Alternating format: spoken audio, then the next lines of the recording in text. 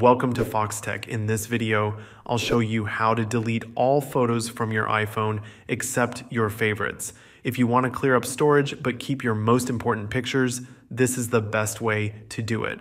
I'll walk you through the steps to make sure your favorites are saved before deleting everything else. Start by opening the Photos app and tapping Albums at the bottom. Scroll down and find the Favorites album. This is where all the photos you've marked with a heart icon are stored if there are any pictures you want to keep that aren't already in this album, go through your library and manually tap the heart icon on each one. This will ensure they don't get deleted by accident. Once your favorites are marked, open the Favorites album, tap Select in the top right corner, and then tap Select All. Now tap the Share icon and choose Save to Files. This will store a copy of your favorite photos in the Files app, keeping them safe before you start deleting everything else.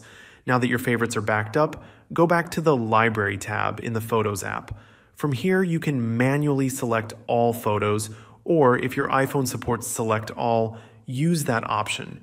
Since you've already saved your favorites, you can confidently delete everything. Tap the trash icon, then confirm by selecting Delete Photos. To free up storage immediately, open the recently deleted album, tap Select, then Delete All. This removes everything permanently so your storage is cleared right away. Your favorite photos will remain safe in files and you can move them back to Photos if needed. That's the best way to delete all photos except your favorites on an iPhone. If you found this video helpful, make sure to like and subscribe to Foxtecc for more iPhone tips. Thanks for watching and see you later.